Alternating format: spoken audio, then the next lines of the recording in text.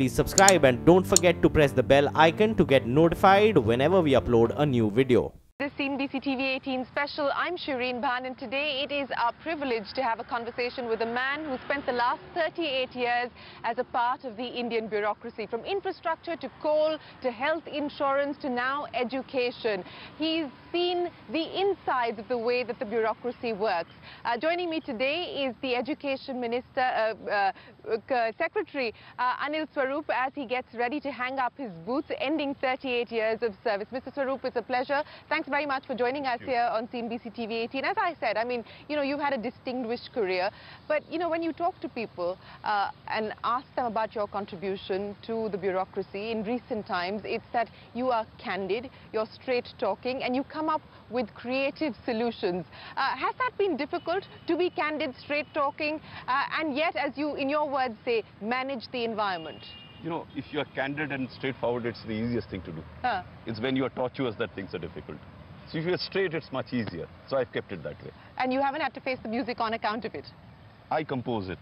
you compose the music uh, as opposed to facing it. Yes. You know, uh, I, I, I would have started by talking to you about coal, but uh, actually let me talk to you about the Rashtriya Swasthya Bima Yojana because uh, that was your foray into the health sector and the government's foray also into health insurance uh, under the UPA. Uh, this in the context of the fact that this government is now looking at launching the Ayushman Bharat scheme, which is touted as being the world's largest health insurance scheme. What was the experience at the RSBY and how optimistic are you about this Ayushman Bharat scheme actually getting off the ground? You know, RSBY was an amazing experience. Amazing on account of the fact that we were trying to address issues relating to health of poorest of the poor in the country. Uh, they were the deprived lot. And one single event, health event, pushed many people into poverty, deep poverty. Mm. And it was in that context I felt that that scheme did make a lot of effort to, you know, bring about some change in their lives, give them some assurance in terms of health. It was a very, very challenging assignment, but I enjoyed every moment of it. About the new scheme, I think it's a great effort of the government. It's the need of the hour. It's, it's, it's come at the right time. And the sooner it gets implemented in the field, the better it is. Hmm. Because the people in the field need it, and it, they need it at the scale at which it is being hmm. launched. Compared to Rashtriya Swasthya Bima Yojana, the insurance cover was only 30,000.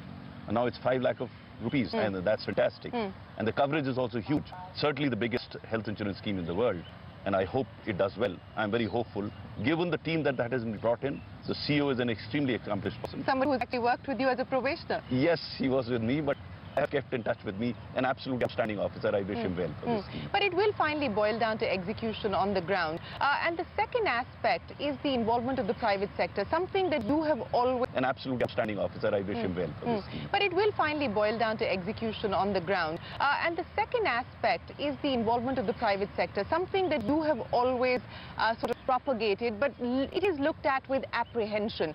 How do you believe we can bridge this trust deficit that prevents public sector schemes from engaging with the private sector to ensure better delivery? You know, RSBY was a classic example of public-private partnership for devel- delivering a social security scheme.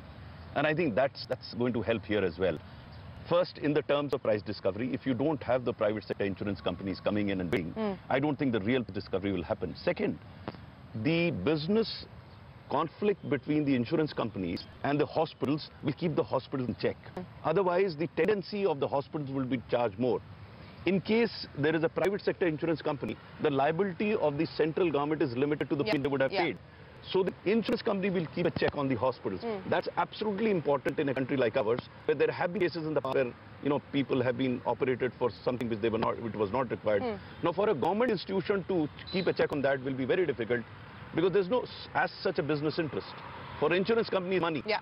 So if there are fraudulent claims being made, They're gonna go they'll after go after. Okay, so you believe that it is going to be imperative for the private sector to be involved in whether the healthcare aims of the future or even perhaps a sector like education? Exactly. I have always believed that the problems of this country can neither be solved only by government or only by the private sector. There has to be partnership between the public and the hmm. private sector. That's the way forward. That's how we should go. But what plagued public-private partnership in India? And I'll ask you this in the context of infrastructure. And, uh, you know, this goes back to your stint as the head of the Project Monitoring Committee uh, in the UP in 2013. You know, when you were brought in to try and clear that logjam of 22 odd lakh crore rupees that was stuck in projects. What plagues public-private partnership, especially when it comes to infrastructure in this country? You know, it is, first it is distrust. we don't trust each other.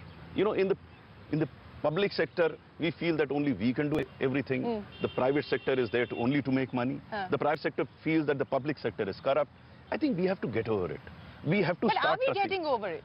Uh, Or know- is it getting worse, you know, actually? RSBY was a classic example where we got over it. In education, we are trying to do it. You know, what has happened in the past year and a half, we've tried to do is to get the NGOs on board. It's having an amazing impact in the field. Because what is what happens is, the efficiency primarily comes from the private sector. The hmm. scale comes from the government sector. Hmm. If the two come together, hmm. I think we can transform the way even social services are delivered. It, instead of, you know, fighting with each other, if we come to learn from each other, there's a lot of good that is happening in the private hmm. sector. There is a massive good that is happening in the public sector. What gets to be discussed is what is wrong with the public sector, what is wrong with the private sector. How about I have started this whole nexus of good. Huh. The idea of nexus of good is where good things are happening, they should come together. Hmm. Goodness should come together. Hmm. Let goodness grow. That can only happen if we have the courage to appreciate the good work that is happening elsewhere. Unfortunately, way we are evolving, we tend to be very critical of everything that is happening around us, hmm. rather than look for something which is good hmm. and which is happening. Hmm. If it is happening, let's try and understand why it's happening and how it is happening. No, I understand the point that you're trying to make, but on this issue of bridging this distrust, which continues to exist, uh, you know, what can be the practical solution? The practical solution is to sit across a table and discuss threadbare as to what are the mutual interests, what are the common grounds. We dis the discussion normally centers around the conflict areas rather than areas of cooperation. Hmm. Even in between two individuals, there will always be conflict areas. The point is where does the discussion start? Hmm. If the discussion starts with positives, then gradually you will cover you can cover the negative part. You know, in project monitoring group, what we what did we do? We set up a system where we could facilitate things to happen hmm. without distrusting the uh, the private sector. We said that if you have a genuine problem and with spending somewhere, let's sit with the department and discuss hmm. with them hmm. why is it so. Hmm. You know, the critical point is a why of a problem. If you understand the why of problem, we we we leave out the personal biases out of it. Go into the issues, try and find a solution. You think that is the problem, uh, not just today, but you know the problem that India deals with is that both policymakers as well as politicians fail to see the why of the problem, and so your solution is not linked to the cause of the problem. You're actually addressing the symptoms. I think you said it. I, I think wherever we manage to find problems, solutions to the problem, we first try to understand why it happened. And let me give you an example of coal. In this government, we found a solution because we tried to understand what is the problem of the coal and why is it so. Hmm. The problem of the coal in India was not so much the coal block auctions as was the shortage of coal. Hmm. Then you go to why was the shortage of coal? Shortage was coal was on account of problems in land acquisition, problems in getting environment clearance, problems in getting rakes to evacuate hmm. the coal. Then we go to the next step. Why was there problem of land acquisition? So if you go and understand the basis of the problem, you can address them as we tried to do in coal. In fact, at some point in time, we had coal sitting in coal India and there were, weren't very many takers. We Are you disappointed that today uh, the situation is very different? That we're back to a, uh, uh, an era of a shortfall of No, coal? I think the production has grown, but the demand has grown much more than the supply that is available. So today the production is more than what it was about a year ago or Sure. two years ago. But the demand has gone up. So we have to look at the demand and see what else can be done. You know, the irony is that we sit on 300 billion tons of coal hmm. and we are unable to supply coal, hmm. which at best would be 800 to 900 million tons requirement.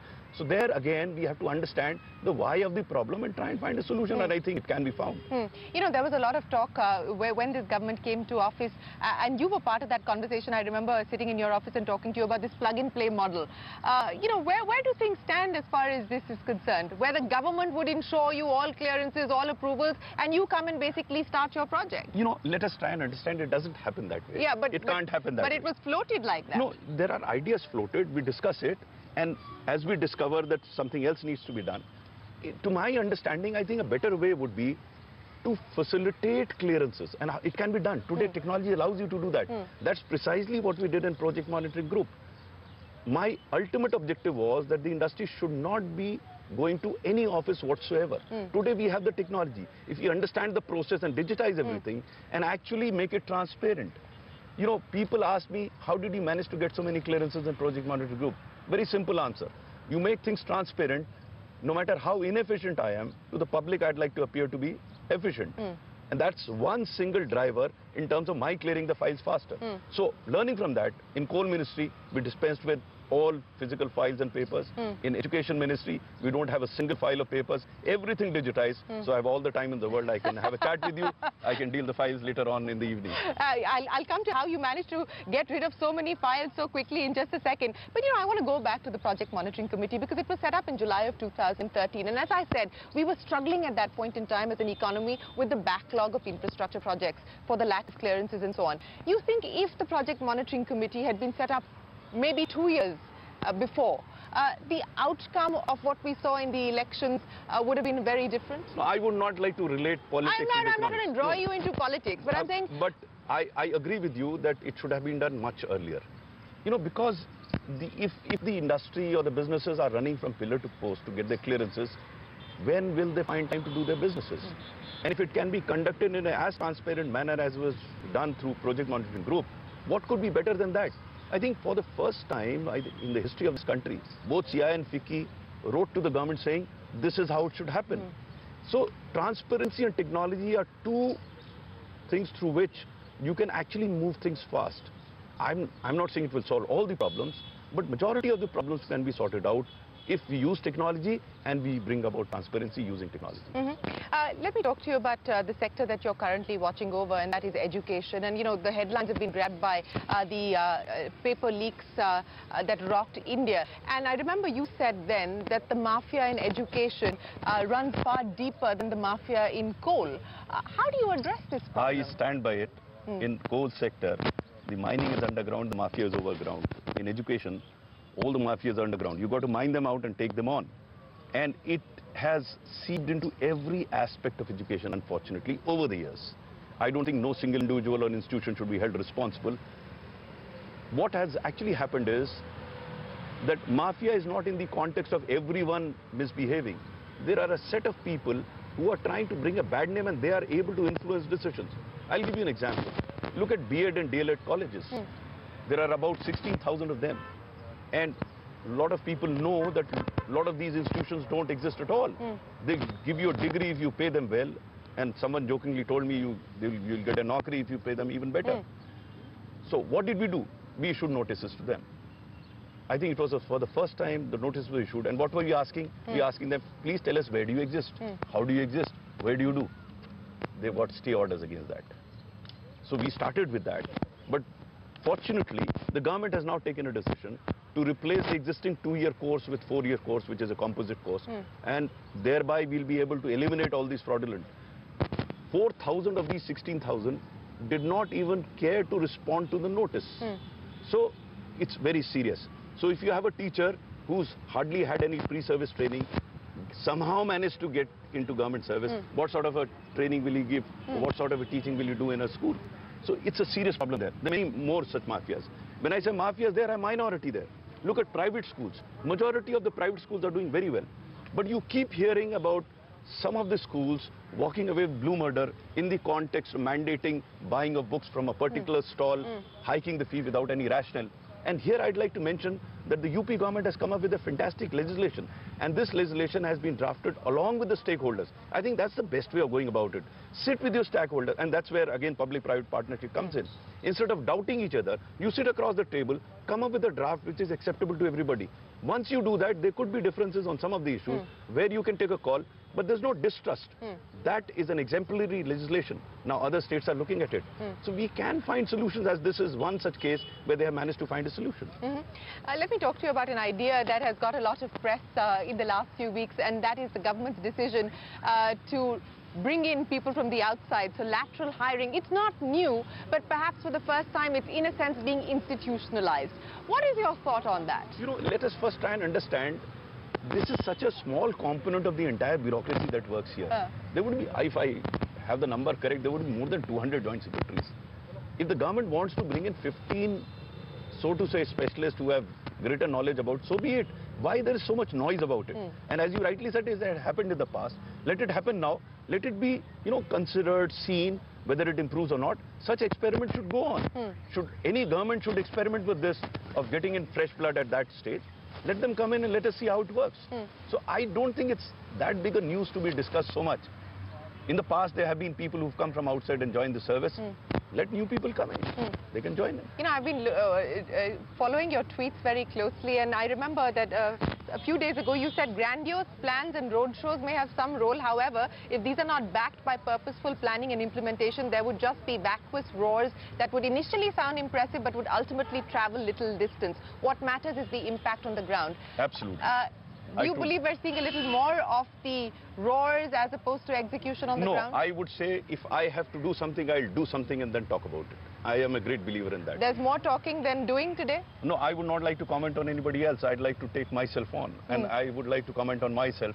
I have always believed that walking is better than talking. Hmm. You walk and then talk rather than talk and then walk. Uh, okay, uh, so since we're talking about walking the talk, and I want to now go back to the issue of reforming the bureaucracy. And as you said, you know, lateral hiring is a small aspect of how you can bring in fresh blood and new ideas. But how do you make the bureaucracy more relevant, more efficient, a bureaucracy that is, uh, uh, that is operating in today's context, not just in the Indian context, but the global context as well, because so much has changed. Your, your question assumes that the bureaucracy is not relevant. Okay. Your question assumes that No, they are, I'm saying- they're not doing. I would rather say that the coal revolution in this country was brought about by the bureaucrats. I may have walked up with all the credit, but I think the team that I had was absolutely amazing. All of them IS officers. They did it. So same people have been doing it and will continue to do it. Hmm. Obviously, you have to upgrade yourself. Hmm. You have to upgrade your understanding of what's going on. But to say that they have not been, there No, I'm not to be a suggesting that. I'm not suggesting that. So, so I, I, it's, it's a question of how you use your tools. Hmm. It's ultimately boils down to how you use your tools. You must understand how do, how best to make use of them. You must understand what are their pros and cons. You must understand what are their good qualities and not so good qualities and make the best of it. Hmm. So an officer could be good at writing notes on the file. The other officer could be very good at working the field. Now it's for the leader to decide where he wants to make use of it. Hmm. So to my mind, I'm very clear that it's not a question of getting this or that. Hmm. It's a question of using what you have. You can always improve upon it, but I think the best results will come in terms of a leader trying to get best out of his team. Hmm. I have been fortunate to have such people, fantastic people, whose work, whether it's education hmm. or PMG or coal, where things happened Yeah. and happened with those very hmm. people. So it's wrong to say that there's something wrong with these people. I think they are there, they're very committed, they're very competent. It's a question of how I make use of them. Let me also ask you about an issue. In fact, we've got the IBA in Mumbai uh, holding a press conference uh, later this evening to talk about this issue of bankers feeling persecuted. Uh, they claim that there is now virtually a witch hunt on. And that, I would imagine, is, uh, is a feeling within the bureaucracy as well if one picks up on, on what one hears privately. Uh, what's your own take I, on that? I, I am not sure whether, I, I, I disagree that there's a witch hunt. There's no witch hunt. No, no, I'm not. There is now virtually a witch hunt on, and that I would imagine is uh, is a feeling within the bureaucracy as well. If one picks up on on what one hears privately, uh, what's your own I, take I, on that? I, am not sure whether, I, I, I disagree that there's a witch hunt. There's no witch hunt. no, no, I'm not suggesting. I'm saying that the IBA is is No, holding a press bank- conference you know, today saying that I- they feel that there is persecution of bankers No, I am today. not competent to discuss the banking industry because I'm not fully conversant with it. But as far as civil servants are concerned, I don't think there's any witch hunting whatsoever. Absolutely no. It's a question of whether I am able to engage with people around me. It's a question of whether I'm committed to de- delivering things. And I think recognition has come to officers who've done good job. So there's no question of witch hmm. hunting. There could be stray case here and there and someone may feel bad about what's happening to him. But by and large, I think the environment is such where if you want to perform, hmm. you perform. Again, I take my own per- personal example. I was given an absolute free hand in the coal ministry. Hmm.